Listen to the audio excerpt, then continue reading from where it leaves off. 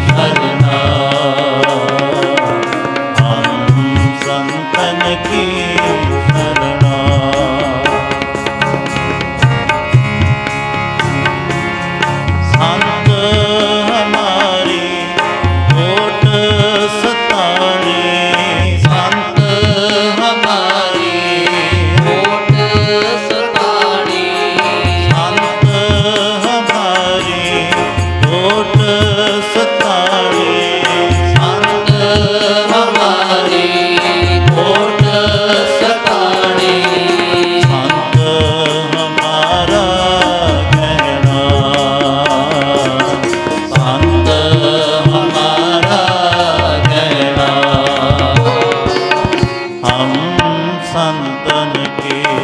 ਜੈ ਤੇ